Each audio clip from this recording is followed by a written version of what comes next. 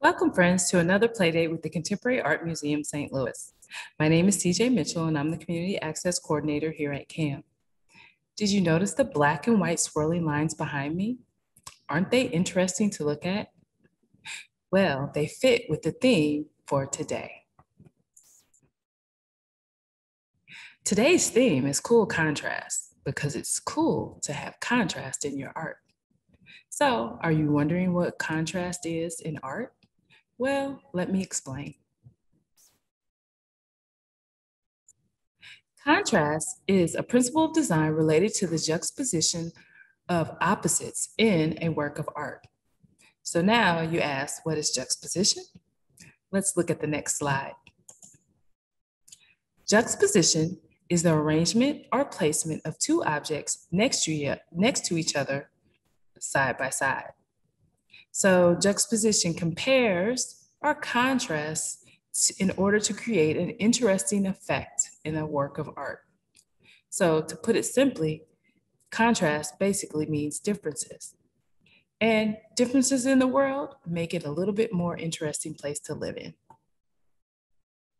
So contrast can be created through any differences such as color, texture, size, and even more. So the image behind me is creating contrast by using the colors of yellow and blue mosaics to create an interesting work of art. Even more possibilities of arrangement of opposite elements like light versus dark, rough versus smooth, and small versus large also like the small and big mushroom behind me. All right, now let's look at art with cool contrast with our current exhibition, Stories of Resistance. What kind of contrast do you think Andrea Bowers' Resist demonstrates? If you said color, great minds think alike. The cardboard background versus the bright, vivid color of the graphic image creates an interesting piece of artwork to look at. We are looking at Disease Thrower number four by Guadalupe Maravilla. What kind of contrast do you think I was thinking about with this installation? Well, with this art, I thought about the contrast between the sculpture that is rough and mute of color compared to the brightness of the purple colored walls with the silver lines. Samaya Seduce, filled with wisdom, has a contrast between the letters. Some of the letters are bright and colorful, while some of the letters have texture. And also, there's contrast between the texture of the building made of concrete and the bright, colorful, and textured letters in the message. All right, let's take a look at Tuan Andrew Nguyen's The Boat People. These are still images taken from the film. The image furthest away is of the main character, and she is holding a sword that's on fire. And then we have a more up close image. And what's interesting is the contrast of elements. We have fire and water. So the orange and yellow hues of the fire against the background of the blue, wet ocean makes for a fascinating image. Let's look at the work of Banu Cennetoğlu, Gurbet's diary. When we look at it, the tablets look as if they were made long ago, but they are sitting on metal shelving that looks like it was made yesterday. So this is a good contrast between something old and something new. All right, let's make some art. Okay, so for today's art activity, we are going to create contrast by using color and shape to create an eye-catching work of art. So for today's activity, you will need construction paper, and you can have a couple of different choices. You don't need all, but if you have all, that's even more fun. You can use crayons, markers, or stickers. And the last thing that you'll need are scissors. All right, let's get started. All right, so we're gonna make these cool sculptures today using contrast colors and forms. Right, so to make these cool and interesting forms, I'm them to the side. We will need construction paper. So you are going to take a couple of different colors. I think I am going to try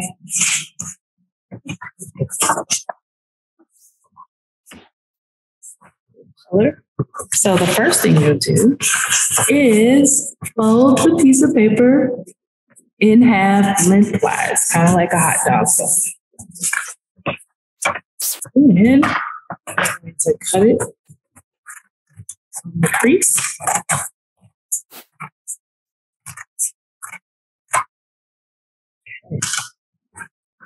Now, once you cut out the crease, you're only going to use one half. So I'm going to move this out of the way. And I'm going to fold. Well, actually, first let's decorate it. So let's see, I'm thinking I'm going to try stickers. So I have these wonderful little dot stickers. And I'm just going to stick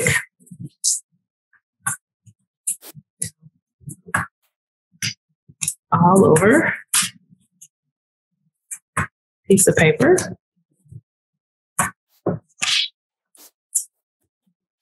In random spots. And since this is kind of 2D where we'll see both sides, I am also going to put some opposite side.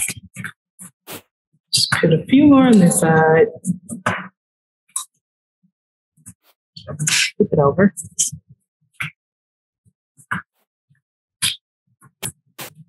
A few more.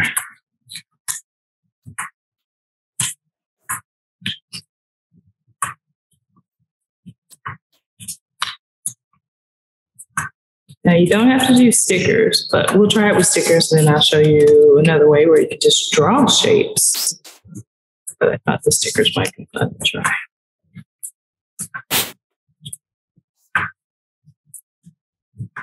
So there's a great contrast between this yellow and the purple.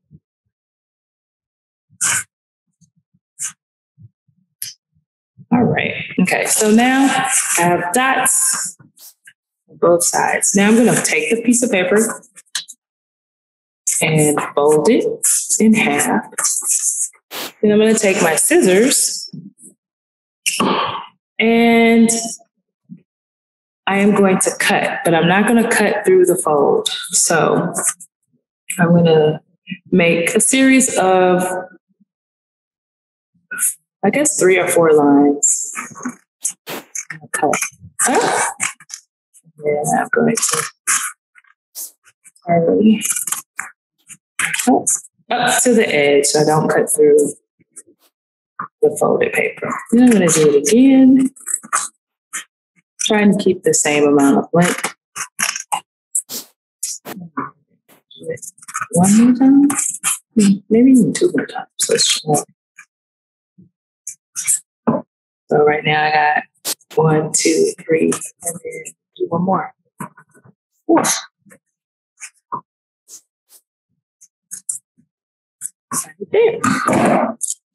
All right, cool. So now to open it up, and you have all these different lines. So now you want to fold it in opposite directions. So each line will get folded in the opposite way. So this one I'm folding back. So this one I'll fold forward. This one I'll fold forward. This one I'll fold back. So it's like every other one. And I'm going to do it on this side. So it starts to stand up already, but you don't really necessarily have to fold the top one. But you do want to fold it in the opposite direction. So it's kind of like a sculpture that has its own footing.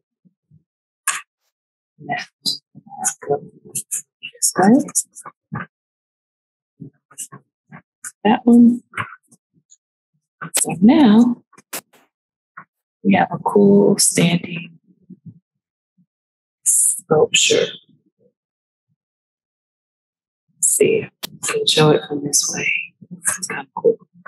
All right, so I got one. Now another way we can do it, I'm gonna move that know, is I took a large piece of paper and I took a paint pen and I just drew a whole bunch of circles on both sides, different sizes. So now I'm gonna take it and fold it. This time, maybe I'll make some lines.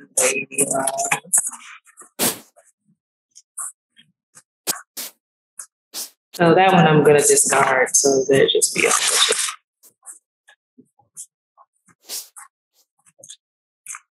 And I don't want to cut into the fold. If not, it'll be a whole bunch of little bitty. Again.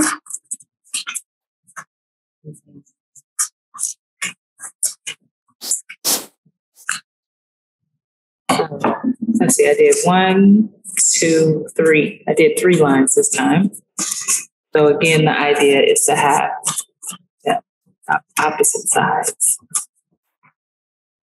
so that your sculpture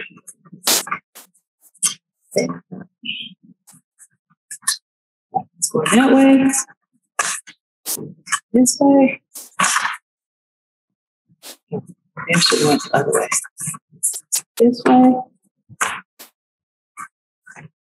And so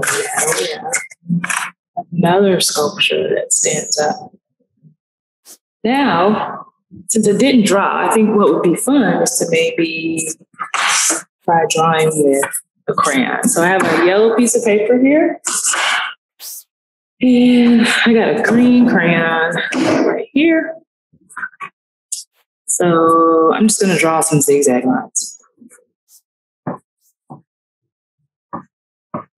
Or if you're good at shapes, it kind of looks like a W, does it? Yeah an extra W, more like a, a wavy line.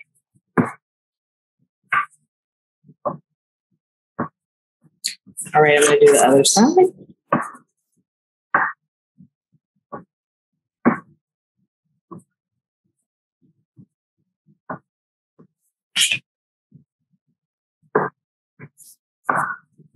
And yellow and green are good contrasting colors. All right. Fold paper in half again. Let's see. Let's just make. Maybe we'll.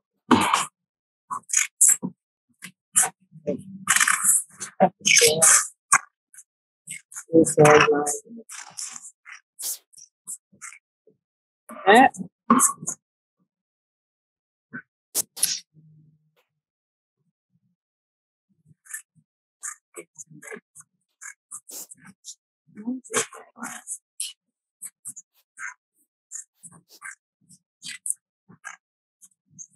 and I have to remember not to cut all the way through. Our sculpture won't stand.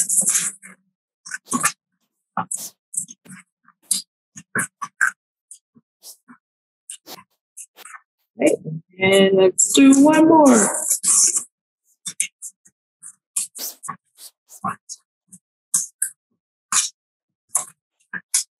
All right. Zigzag lines. My zigzag art. Now, make it stand up.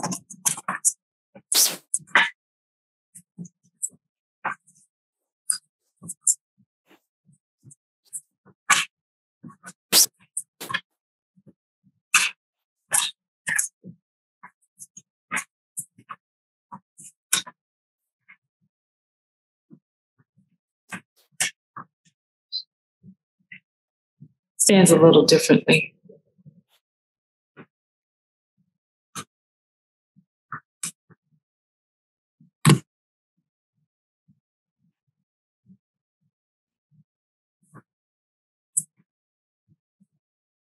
Just like that. All right. I think. Let's see. Now let's look at them. Maybe we'll make like a little sculpture park. put them up next to each other. All right, so now I have put together all my little sculptures. So I have this really cool contrasting color, like mini sculpture park. So I hope you enjoyed making these cool contrasting color sculptures. All right. Next up, we have a performance from Dances of India. Enjoy. Hello there, and welcome to Dances of India. My name is Nartana, that's N-A-R-T-A-N-A, and that means dance. So today I'm going to um, show you a little bit about Indian dance, and we're going to talk about the theme of contrast, cool contrast. So what is contrast? Let's say in school you really like pizza and your best friend loves ice cream, but your best friend never eats pizza and you never eat ice cream. Well, that's contrast right there, that you're friends with someone who has contrasting tastes from you. Um, let's say, for example, you like sunny days and your friend likes rainy days. And your friend says, well, I never like sunny days and you never like rainy days. Well, those are contrasts, but you still are friends contrast uh, is what makes the world interesting. It opens your mind to different ideas and different tastes. And you realize, well, I can really like someone. They can be my friend, even though they have totally different tastes and ideas than mine. And that's what's cool about contrast. So in terms of Indian dance, we will think about what contrast means. So um, let's begin.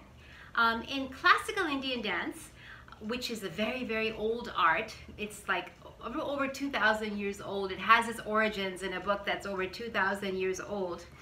Um, they have laid out different hand movements with which you tell stories. Um, for example, this is the sun. Um, this, this can be rain. This is one example of rain. So, um, but what's interesting is with the same hand movement, you can describe contrasting uh, ideas or, or emotions. For example, with the first hand movement, you can say, stop. You can also say, or I'm sorry, not say, because we don't talk when we dance, but we, we show expressions with our eyes and with our face, our mouth. Um, so, so we're not going to say, but we're going to portray. So we can say, stop, or we can, or we can uh, show surprise, or fright. And all with this hand, that's all you need. And also with this hand, we can show a half moon like this. And if you do this, sorry, this, this is a quarter moon. You can also show a full moon, but that's a completely different movement. But just to show you, you can show a half moon and because it's a moon, you can put it high in the sky like this and a quarter moon. And you can also show with the same hand carrying like a plate, like if you have to carry a plate to dinner or something. And you can do it gracefully. You can do it like this, gracefully. Um, here's another movement. Uh, we can with this movement, you it's flap with your ring finger down. You could show the crown of a king. Uh, you could show the branches of a tree. You can do both hands, I'm sorry. You can show like this, you can show tears. Someone's crying or you're crying, your friend's crying. You can show writing a letter. So with one hand, one hand movement, we can show all these different, um, different ideas along with expressions. Um, and this is another hand movement with the thumb up, real simple. So in Indian dance, this can mean a man, a man. It can also mean, who are you? Or, you, or why? So you could actually say, who is this man? And you show it with your eyes. So this is how we can show contrast in, um, in our hand movements. And also we show contrast when we show, when we portray a man or a woman. So a woman in traditional Indian dance, females are, it's a very graceful kind of move. The walk, everything, everything is graceful. For example, if you're plucking flowers from a tree, you may have a basket here and you're plucking flowers from a tree. Everything is graceful. And if you're a man as well, you're still graceful. You just you're just uh, walk a little more stiff. Oh, here's a tree and the flowers. It's slightly different in the way in the way you uh, show the gestures of your body. And uh, let's show something else. Let's talk about the sun. So this is the sun, right? It's the easiest way to portray the sun. But in the movement I just showed you with the ring finger down, like this, you can show the sun and its rays. Uh, and suppose it's a cold winter day, so it's really cold, but the sun makes it so much better. So you can show this and the sun. So there are different ways of portraying um, our relationship with um, the sun, nature as well, contrasting ways. You can Oh, the movement I showed you earlier, this movement, if you turn it around and put your other hand like this, hook the thumbs, look, you have a bird. So, so this is the way we show contrasting emotions and ideas in Indian dance. So now I'm gonna do a dance which is a beautiful dance. It's from a movie, a Bollywood movie. If any, anyone out there, if your parents watch Bollywood, this is a classic Bollywood film. This is from 1994, I think. And it's called uh, 1942, A Love Story. And the song um, I'm going to dance to is a song about, you can say, uh, it could be a prince looking at a princess. And as soon as he sees her, he's just overwhelmed. And he describes her beauty and what she makes him feel. So she makes him dream of and feel like the rays of the sun, uh, like a deer. So this is a deer right here, a deer.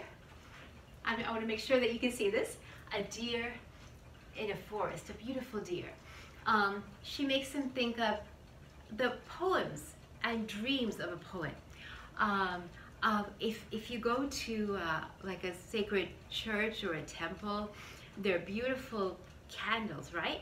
So she makes him think of the fire in a temple. Uh, she makes him think of water, of um, the beautiful vines in a lovely old tree. Um, she makes him think of the veena. The veena is a musical instrument, uh, like this.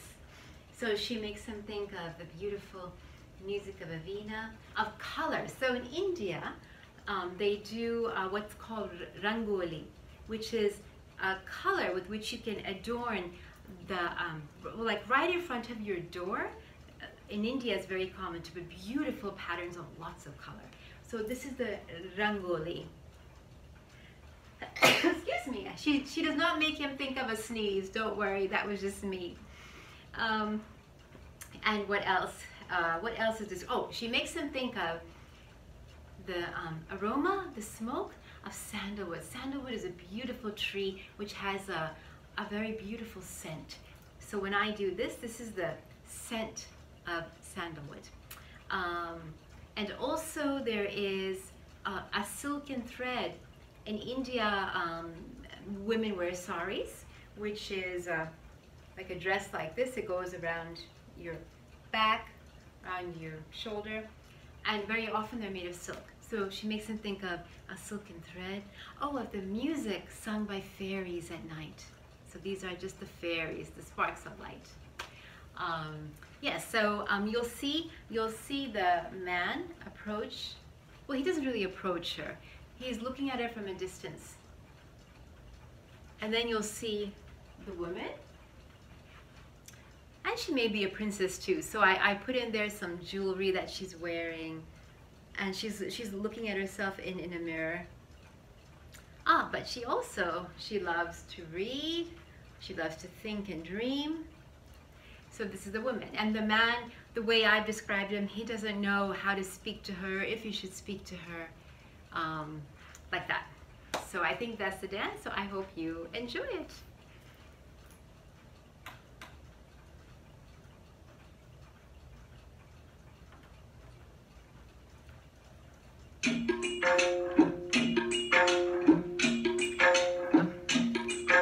Actually, one second. I'm going to start it on real fast. And my mom is over here in the corner. I'm going to ask her to turn it on so I can start as soon as the dance starts. So here. Okay, I think it's fine now. Okay. Technical issue, sorry.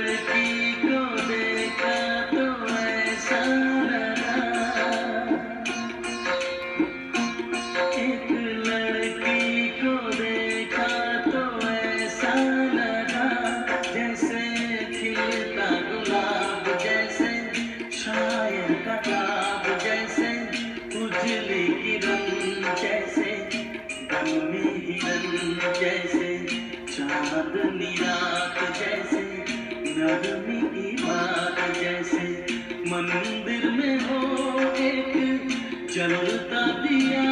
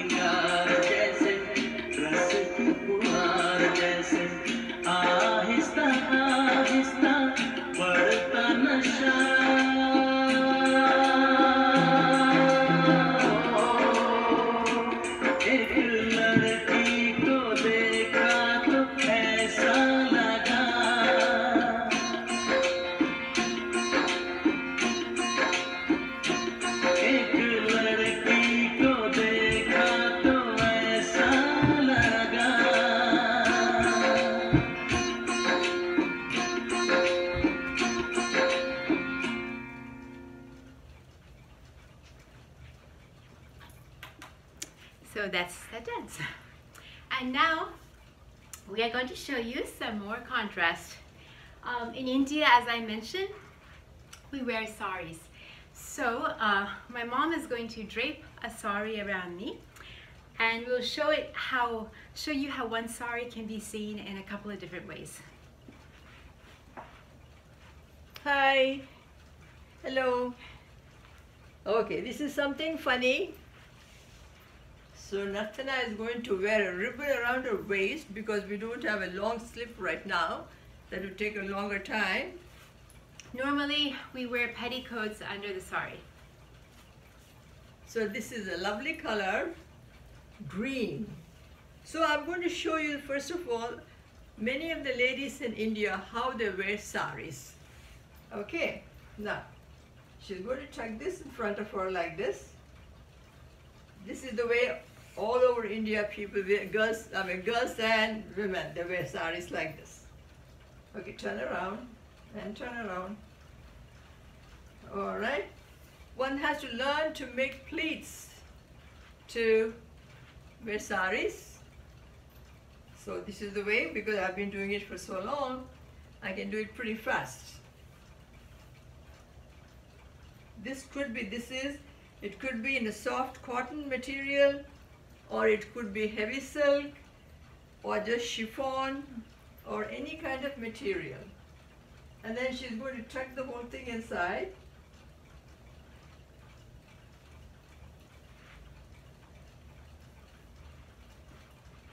Turn around. It will move back a little bit, yeah. There you go. And then she's going to have this that way.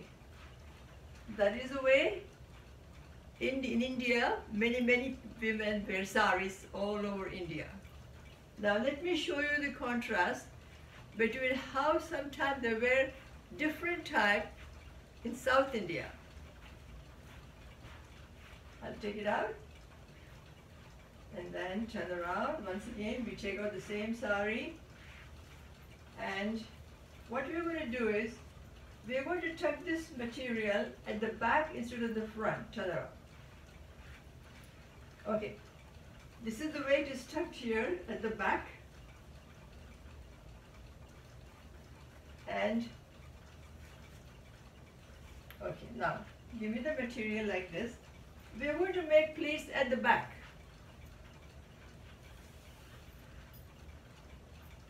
Here we go. Take the pleats like this. Make them into a bunch of pleats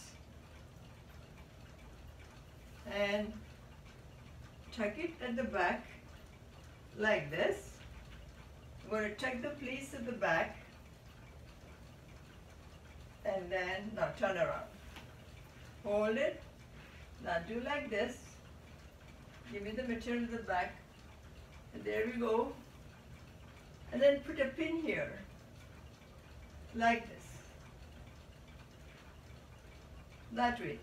So there is a contrast. The same material is draped in a different way in South India. Now let's go to the Bombay style. In Bombay they were in a different way. Now that same material I'm going to take out and then we're going to start once again. Tuck the material in the front, tuck in the front, right, there you go. Now take it around, turn around, turn around. Okay, I'm going to make the pleats in the front here, like this. And it's a six yard material. Boy, it's pretty long, isn't it?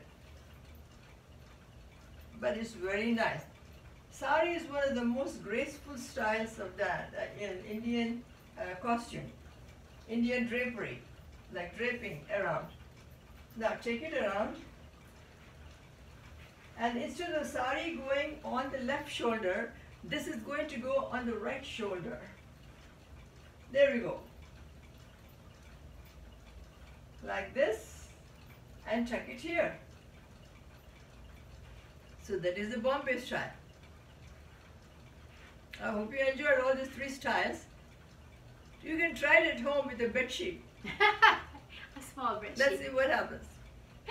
And um, uh, one thing I wanted to say is that most saris are around the same size, around six yards, although you can have longer as well. But um, and a six yard sari can fit anyone. That's what's so magical about saris. You know, whether you're big, tall, small, short, it doesn't really matter. The sari is one size fits all. You could say it's sort of made for contrast. And there are all sorts of contrasts also between the materials. I mean, this is a, a I think polyester, but there's there's so many variety of materials and colors. If you go to a sari shop in India or even in the States, if you go to a sari shop in Chicago or something, you'll be blown away by the variety of saris. A lot of contrast. That's what makes the world beautiful. Thank you so much. I hope you have enjoyed this. And if you would like to see any of our videos or learn more about us, go to dancesofindiastl.org. We have a big performance this November, uh, 2021. We, we have an annual performance um, each fall. And we will be we will follow all COVID safety protocols. We are Missouri Art Safe certified. Um, so I hope you can come and join us. Thank you. Bye. All right. Thanks for joining us today. I hope you learned something new about contrast. And if you enjoyed what you saw today, please come in to CAM and see it in person. All right. We will see you next time. Bye.